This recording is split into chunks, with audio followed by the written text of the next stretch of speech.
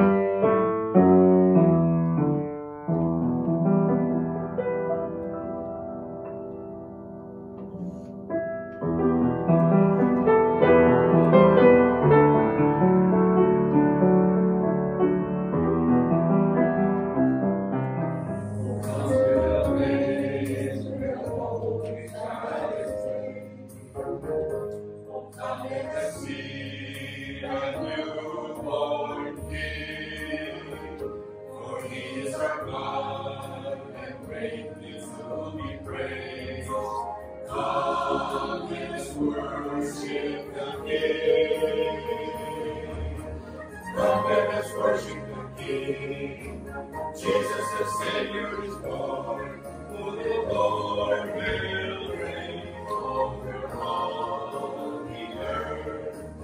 Come and let's worship the King. Jesus the Savior is born, for the Lord is reign.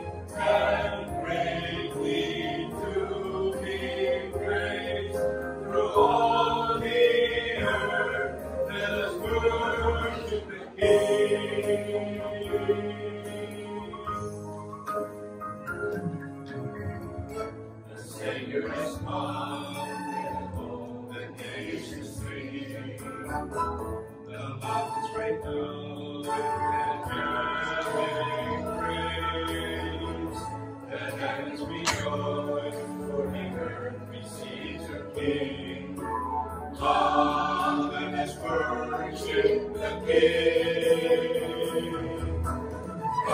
us worship the King.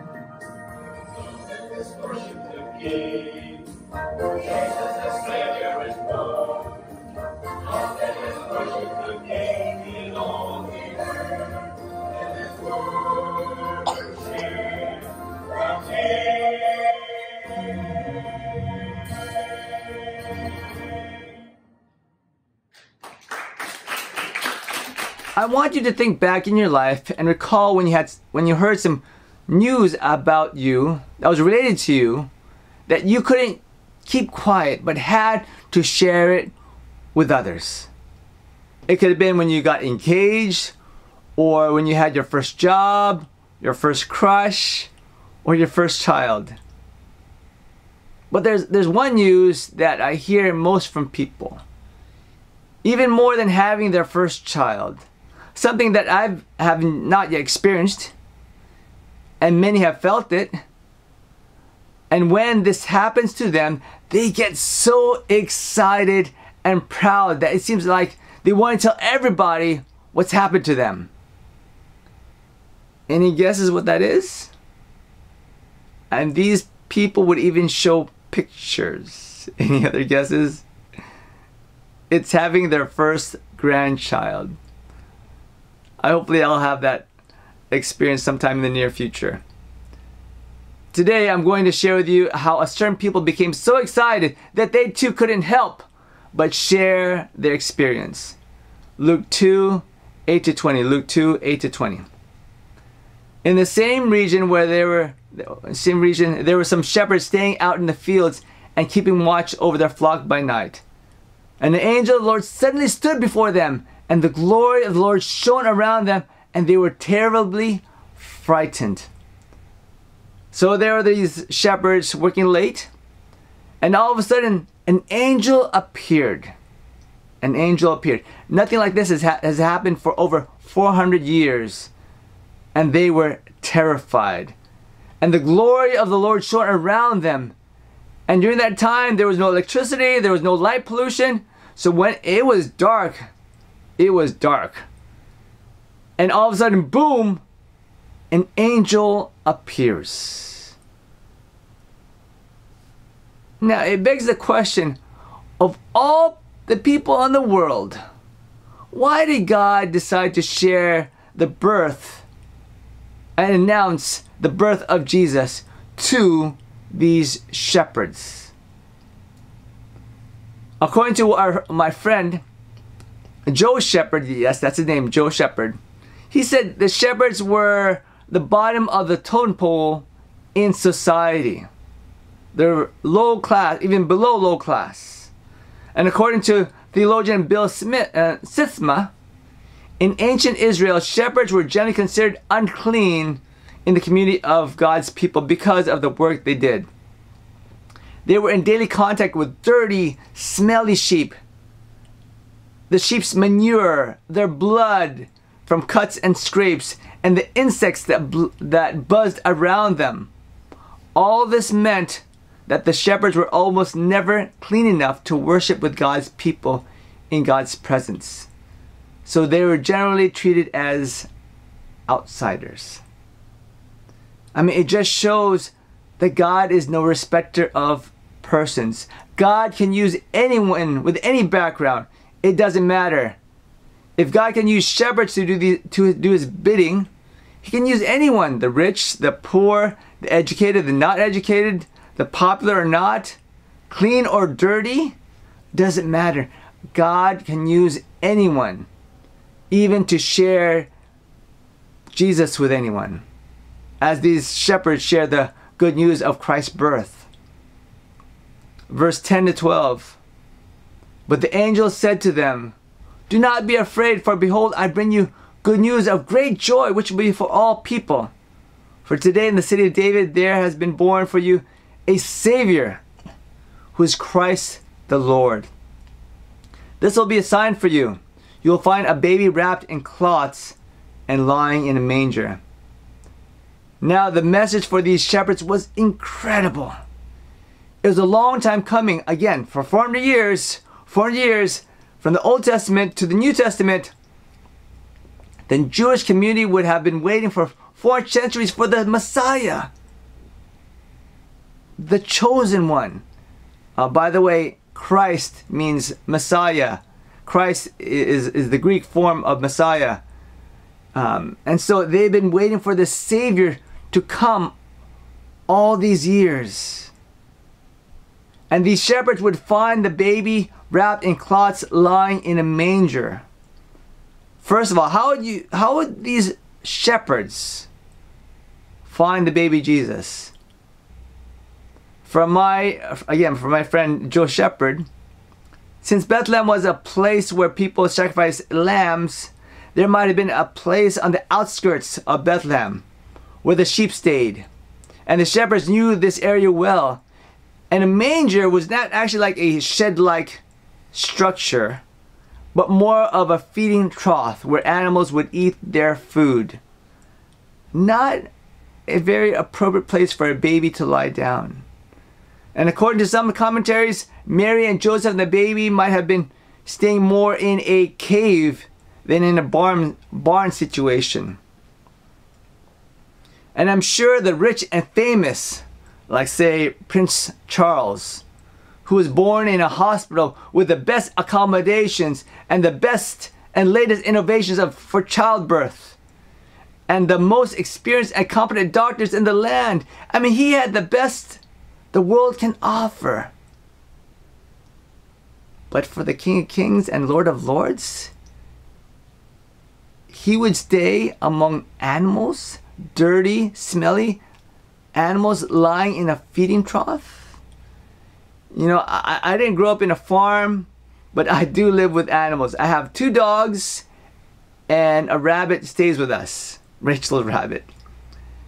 And one of the things I learned living with these creatures is that they don't use the toilet. You'd have to clean up after them. And I'm sure where Jesus stayed, it was stinky, malodorous, foul smelling.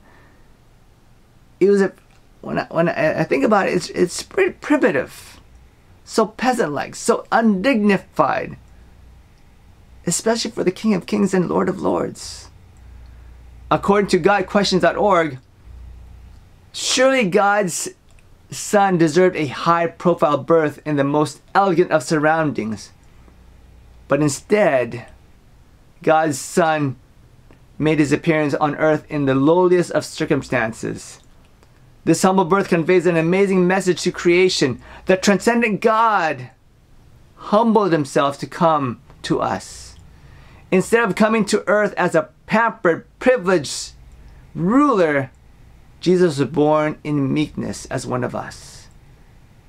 He is approachable, accessible, available. No palace gates blocked the way to him. No ring of guards prevented our approach. The King of Kings came humbly, and his first bed was a, a manger.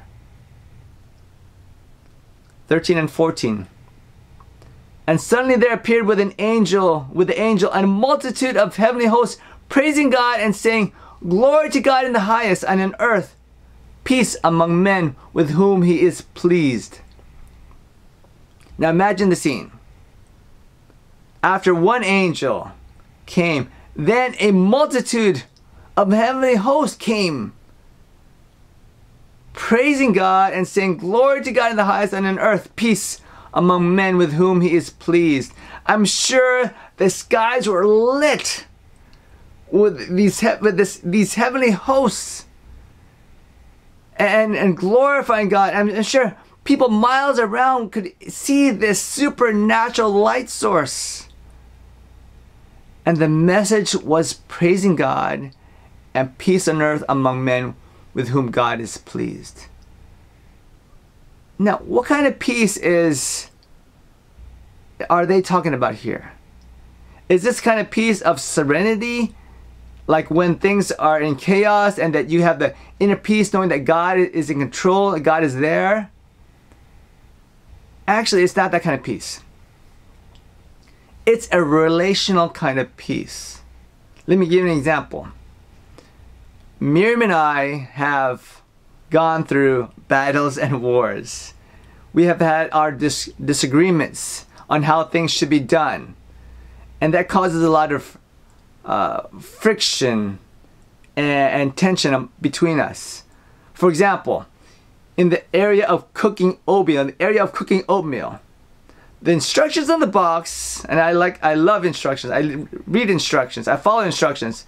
The instructions on the box says you put the oatmeal in the pot when the water is boiling. When the water is boiling. But no, Miriam does it totally different. She says you put the oatmeal and the water together, then boil it. That way, to soak the oatmeal better. Disagreements. And due to these quote quote discussions, sometimes there's no peace between us. There's no reconciliation. We're at war with each other. Just like our relationship with God. And this all started with Adam and Eve's disobedience. The sin of disobedience caused the peace to be broken between, uh, between man and God, between us and God. It's so bad that according to Ephesians 2 3, it says it's like the rest, we were by nature deserving of God's wrath, God's eternal punishment. And the significance and the great news of Christmas is that God provided a way of peace a right relationship with God by the way by way of the life and sacrifice of Jesus on the cross for you and me. Verse 15 to 16. When the angels had come from them into heaven, the shepherds began saying to one another, Let's let let's go straight to Bethlehem then and see this thing that's happened which the Lord has made known to us. So they came in a hurry and found their way to Mary and Joseph and the baby as he lay in a manger, in the manger. Now, as you look at this verse here, did the angels tell the shepherds to find the baby Jesus? Did the angels tell the shepherds to find the baby Jesus?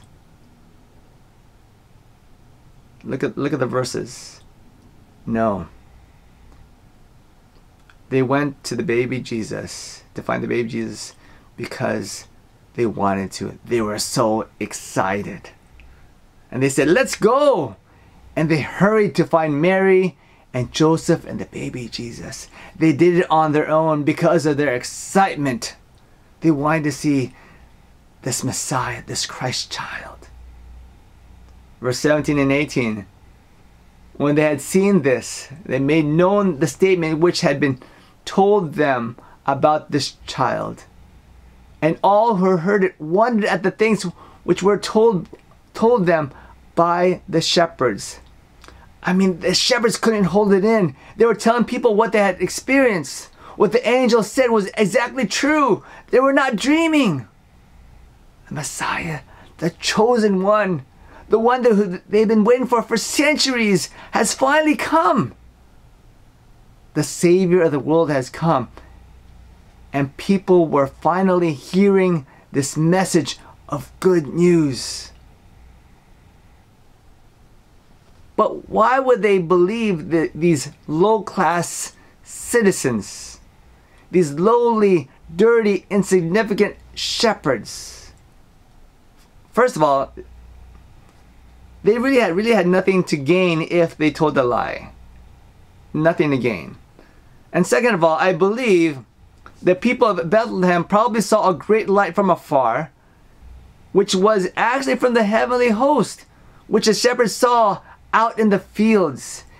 And finally, they could make sense of all that when the shepherds came with their news. Verse 19.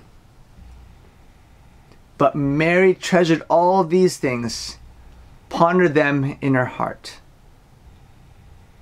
The shepherds came and confirmed with Mary what the angel had probably said nine months ago regarding conceiving Jesus the Son of the Most High. I'm sure she could. She's, she's, she's reco- recollecting all that has happened. All those nine months, there was so much drama, so much anxiety from Joseph not believing her. I'm sure there was other people, her friends and relatives that didn't believe her as well of of of what had happened about how she became pregnant. And that's not all. The anxiety of Mary and Joseph traveling from Nazareth to Bethlehem, which is about 70 miles. That's from Long Beach to Oceanside. And now it's so easy to drive there. Uh, just take the take the I the 405 to the 5 and it only takes 90 minutes to get there. But for them, it was they it was possible it was about it, it might have been they might have taken it go on foot and riding on a donkey. It doesn't say riding a donkey in the scripture, but it might have been. It might have taken also taken five to seven days of traveling. Can you imagine that? What makes this even worse was Mary was at the end of her pregnancy. Can you imagine riding on a donkey at the end of your pregnancy and every bump and bump and bump, it might have felt that Jesus was already coming out. And that's not worse. That's, that's not all. At the end of the journey, not finding a place to stay except resting with other animals. Now these sheep breeders, these shepherds, come and confirmed all as has happened was part of God's plan. And Mary treasured and pondered these things. Verse 20. And the shepherd the shepherds went back, went back home, glorifying and praising God for all that they had heard and seen, just as had been told them. I don't think these shepherds were ever the same again. After having this this incredible supernatural uh, experience, this revelation from God, I'm sure they told more and more people because they couldn't just keep it inside. And they went back home glorifying and praising God for all that they had had uh, had heard and seen. This good news of great joy, which will be for all people for today in the city of David has been born for you a Savior, who is Christ the Lord. And they couldn't keep the excitement in. Brothers and sisters, during this Christmas season, I want you to reflect and treasure all the things that God has blessed you and ponder them in your heart. Take an inventory of how God has been so good to you, starting with that peace that He's given you that reunited relationship with God that we don't deserve. We deserve eternal punishment, yet He gives us forgiveness and eternal paradise. And I want you to think of all the times that God has been so faithful to you, even the many times we are so unfaithful to Him. Think about all those times, those special moments that you felt the strong presence of God, those precious moments. It might have not it might have not felt like an angel speaking to you directly. But still those were special moments that you sensed his presence and that you could hear his voice inaudibly. Think of think of think of how your life would be so different if Jesus was not a part of your life. I want you to think about that. I want you to ponder those things. And, and, and I pray that as you reflect and ponder and treasure those things, that it may ignite a spark, a light that you can't hide, that you want to share all these things with others. That you have been given the honor and privilege of experiencing the presence and blessings of the Almighty God. So much so, just like again, like these lowly shepherds, you can't help but share the good news with others. Sharing the peace of Jesus doesn't have to be complicated. You don't need a doctorate degree in theology to do so. the shepherds, these lowly shepherds, share their, their wonderful experience with others. So you too can share the experiences that you have encountered with God. Share the good news of Jesus with others. Share that they can have that peace with God as well. Just share what you have experienced. That's all. Like the shepherds. The simple message of Christ's birth and how it changed your life. Share the true peace with others this Christmas. Let us pray. Heavenly Father, you have been so good to us. You've given us life and life abundantly. It all started with the peace that you've given to us, O oh Lord God, that right relationship. And Lord, beyond that, Lord, you've given us so many wonderful experiences, so much encounters, so much evidence of Lord of your reality that we cannot deny you, Lord God, and we cannot deny how, how good and loving and merciful and gracious you are to us. Lord, I pray that it may ignite, ignite a spark within us, Lord God, to share with you with others and just share. Share how you've changed our lives. And it all started because you've given us peace, that relation, that right relationship with you. Thank you, dear Lord, in Jesus' name.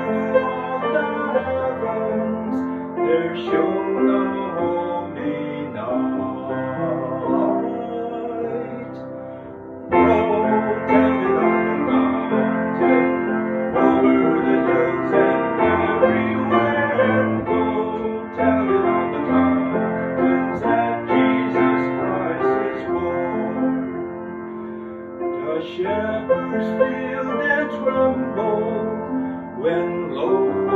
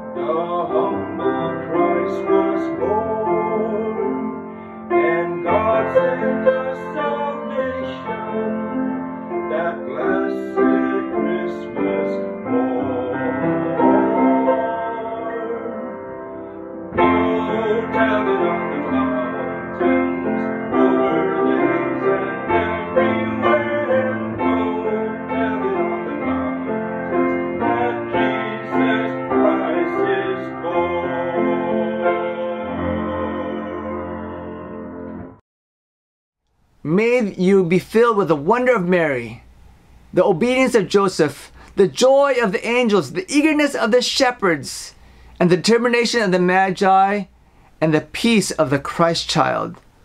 Almighty God, Father, Son, and Holy Spirit, bless you now, forever and ever. Amen.